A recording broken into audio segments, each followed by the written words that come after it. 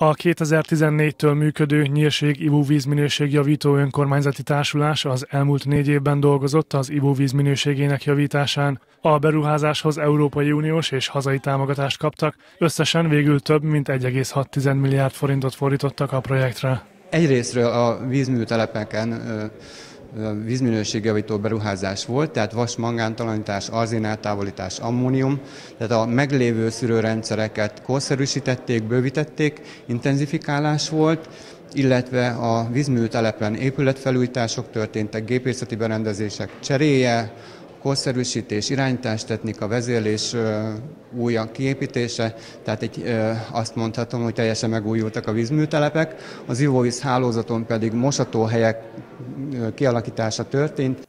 A beruházás eredménye végül 18 ezer háztartást, közel 49 ezer embert érint. Ez a beruházás egy nagyon szükséges beruházás volt, hiszen itt valóban azok az egészségügyi határértékek, amelyek azt hiszem, hogy az egészséges ivóvíz szempontjából nagyon fontosak, itt, itt nem igazán voltak biztosítottak, és most ebben majd sőt több mint másfél milliós beruházásnak a keretein belül sikerült olyan egészséges ivóvizet eljuttatni az érintett családokhoz ezen a 17 településen, akik részt vettek ebbe az ivóvíz minőségjavító, a nyírségi ivóvíz minőségjavító projektben, eh, amely azt hiszem, hogy mindenképpen szükséges, és azt hiszem, hogy ez az, amelyet eh, mint települési önkormányzati vezetőknek biztosítaniuk kell.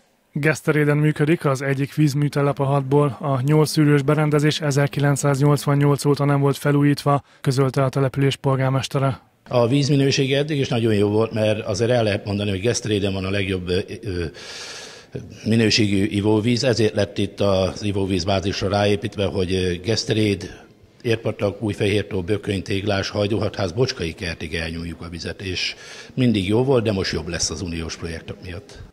A polgármester hozzátette, Geszterét következő terve az eddig még hiányzó szennyvízhálózat kiépítése a településen.